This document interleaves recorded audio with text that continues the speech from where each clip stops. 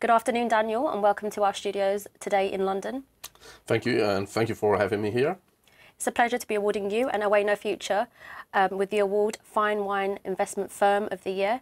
Congratulations. Uh, thank you very much. It's great receiving this award. We are uh, very humble and honored uh, to receiving it. Thank you. On behalf of the European, well done again. Thank you very much.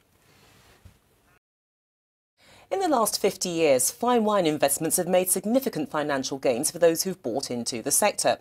Well, that trend looks set to continue as Brexit uncertainty has led investors to search for a secure alternative haven in which to park their cash. OENO Future, one of the leading operators in this sector, has an expert team of consultants who pride themselves on how they've revolutionised the way that wine collectors are working in this market.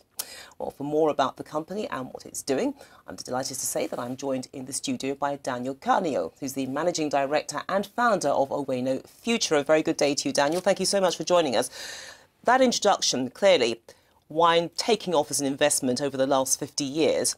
What's it like going forward? Can we see similar gains? Um, yeah, absolutely. I believe so. I mean, uh, in terms of the market itself, is growing very much year after year. As you mentioned yourself, the uncertainty and the volatility that we see in the traditional asset basically attract a lot of people to differentiate uh, their portfolio into some tangible asset like uh, like wine, luxury good. I mean, watches, uh, cars, and uh, other other investment as well becoming popular. And fine wine is one of the most profitable at the moment.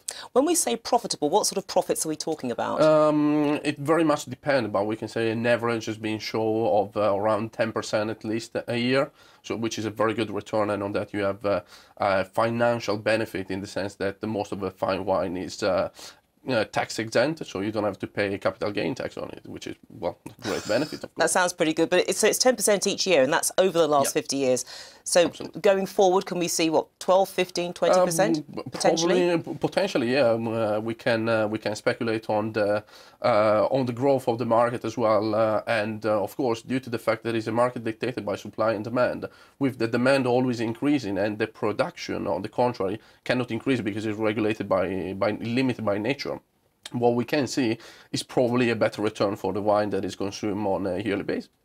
Now, in the introduction, I talked about the fact that OENO Futures is, is quite radical in terms of what it's doing. What makes it different to its competitors, and why do you think that people should go to you rather than other wine operatives? What makes you stand out, in other words? Um, well, I can think uh, I can think about many reasons that uh, makes it a bit different compared to the the competition. Uh, what I will say um, that is most important for us is the incentive that we have to uh, deliver uh, deliver a very good result for our client. Because, for instance, we don't have a management fee, we don't take commission up front of a 10, 15 percent that other company do, but we take a commission at the back when we liquidate the wine. So. Um, our uh, our goal, let's say, is to make money with our client and not from them, uh, which I think is quite important. And uh, on top of that, what we try to have is a fully managed service, uh, which means we take care of everything for them and uh, literally make it, the process uh, stress-free, let's say. Okay, so it is a tailored service. So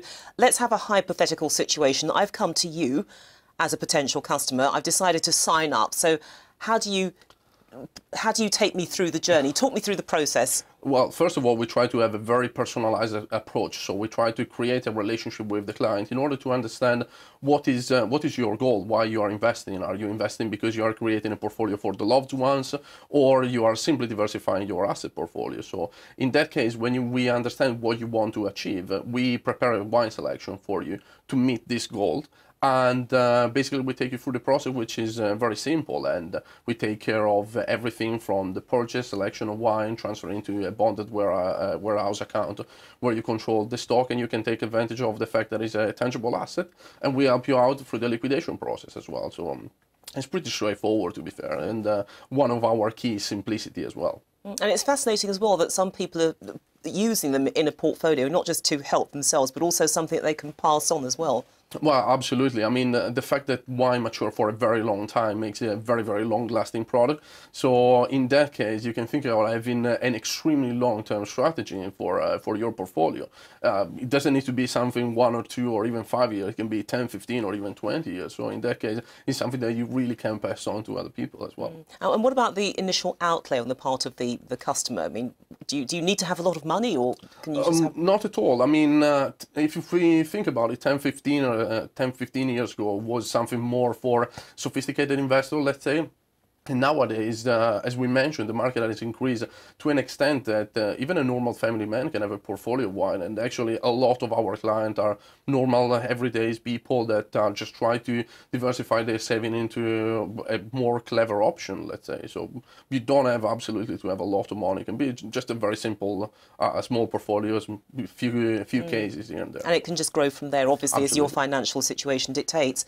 But I mean, what, what are the challenges facing this sector? Because it looks very good at the moment, but I mean, clearly there, there are there, there ha- either are or have been headwinds. So how does how do you hedge against that? And is the sector perhaps more volatile compared to others, or is it pretty stable? Uh, well, let's say as with uh, any other great uh, performing asset, they attract a lot of uh, a lot of people that want to take advantage, literally, of uh, of the benefit of the product itself. But a lot of unscrupulous people as well that are trying to take advantage of not so well-educated investors. So in that sense, we have seen a problem in the past with uh, with some companies, and as well some of our competitors. They tend to focus and uh, too much on a uh, just on a blue chip wine instead of differentiate and do a bit of research on that extent. So it can make the pro uh, the process a bit painful. What we're trying to do is try to have a broader spectrum and try to analyze the wine uh, wine market on on its global aspect, let's say, and find a new investment opportunity. What I advise the investor to do is to double check before they do an investment. So double check who are the people you are investing with do they have expertise in finance? But also do they have expertise in wine as well? We are talking about a very particular asset so they need to know those uh, uh, the the details about it. And uh, as well it's very important to double check the market price. Nowadays thanks to the internet it's very easy to double check if you are buying a product at the price you are supposed to. Mm, And that's where the relationship comes in, certainly at the very beginning of that process that, that we went through as well. Uh, indeed, we try to make it very straightforward for our client, but still, I advise them to uh, double check on every, every, everything we send uh, we send through in terms of material. We advise where to check, and we tell them uh, where ourselves we take uh, the market price. So we try to make it as transparent as possible for them. Mm, Well, clearly you're doing something right because you've been awarded Fine Wine Investment Firm of the Year in Europe. This is the proof, so congratulations on that. Thank you very much. But what does that mean to your business having an award like this, and what what message does it send out? Uh, well, first of all, we are uh, very humbled and honored to receive this award. It's something that was uh, kind of unexpected. It came out of the blue because nobody in the company was expecting such a, such an accolade from uh, from our contemporaries uh, at the moment. And uh, for us, uh, it's uh, it's again an incentive to work uh, even better, to deliver even better service for our customer, to work even harder, basically. So we are doing, as you said yourself, something something right, which is which is great. But for the future, what we want to do, we want to improve everything. We want to spread as well the message that fine wine is a very profitable asset. We want to educate more people on that. Okay, so you and I meet up in five years' time. Yes. Okay, so what sort of a company will we be discussing? How would it have changed? Uh, well, uh, for sure, we're gonna have uh, hopefully a more international kind of spectrum. We are present at the moment in three countries. Uh, what we want to do, we want to expand internationally. So, as a first goal for uh, when the future is gonna be uh, a bigger global market, let's say. Um, I don't want to reveal too much, but let's say for us, the very important part of uh, our business is the exit strategy for our customer. So, what we'll do, we will develop an even more profitable and uh, better uh, exit strategy for them. So, in that, we will expand the market, and um, of course, global exposure will help out. Okay, so exciting times ahead. But Daniel Carnio, congratulations on winning this much. award. And uh, well, I look forward to meeting you again in five years' time, hopefully over a bottle of something. Excellent. Look forward to it. Thank, very you. much. Thank you.